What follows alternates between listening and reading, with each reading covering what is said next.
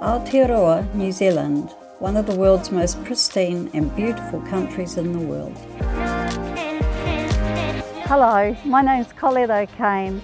Let me take you on a journey through some of the Oamaru art scenes.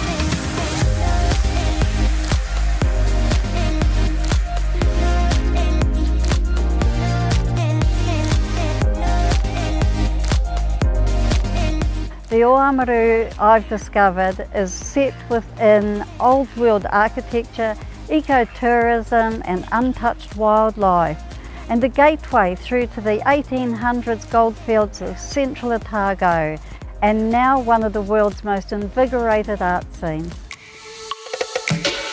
Walking through the old precinct is like walking back in time. You can still smell the wool from where it's been stored. They've still got the feel of the old buildings. They've kept all that so that it's like almost like a time warp.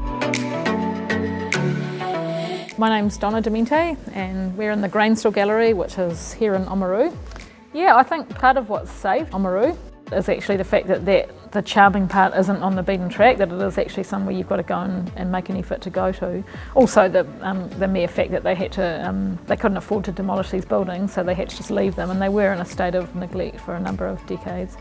I'd love to introduce you to Jeff Armstrong, President of the North Otago Art Society. I'm trying to reflect the creativity which is a given in, in each of us. I'm trying to actually make things which are beautiful, sometimes funny, um, things which have a, create a, an emotional response in people, I guess, um, and to say something about that, that underlying depth, which uh, is what I see as, as the truth. I was made really welcome when I moved to Oamaru and all the artists here were very welcoming and I, I really love that, that people inspire one another. Well, what got me painting was living and working with Aboriginal people and all their various styles inspired me to paint and I adapted some of their styles and used them um, according to what I have lived with and seen over a lifetime. When I was a kid, I lived on a sheep station and I would sit on the woodshed that held the wood back. I'd look at the hills or mountains as most people would call them. And my dad used to always say, oh, if I could only paint, I would love to paint that.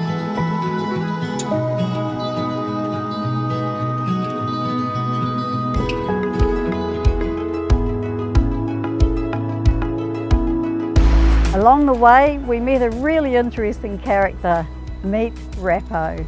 I would consider myself an artist as such. Quite a crazy twist. I don't like normal. I would come to Oamaru because it's one of the most amazing places in New Zealand. Um, it's not about explaining what is here. You have to come here and you have to feel it. There's no explanation. It's just amazing.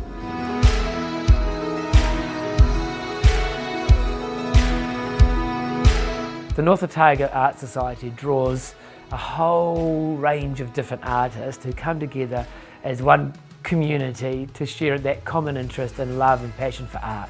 What inspires me is the idea that each of us has this creative um, energy or creative force. Even in the short time I've, I've been here, there's been a growing um, pride and development about the Victoria part of the town, but the cultural part of town and, and the other things that are going on here for Oamaru. Colleen Rinder has a love of country and this is reflected in her art.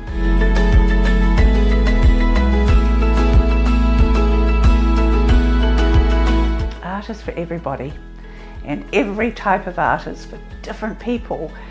It always amazes me how a painting I will do and I'll think, I don't like it. And somebody will come in and they say, oh, I love it, I want it. And that is exciting because somebody has seen something in it. I would love to introduce you to long-time resident and fabulous artist Jenny Dixon. I think the most exciting part of the process of art is, for me, the finishing.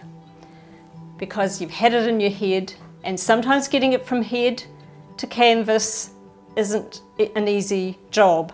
But if you get it finished and you're happy, it's the best feeling. It really is.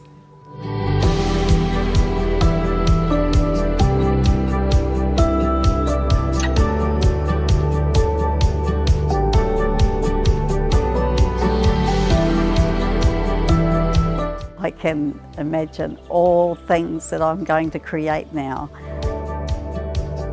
I like make-believe cities and towns, so I use country and city a lot together. When you look at a lot of paintings in New Zealand, you always see the beauty and the underbelly, and they always go together.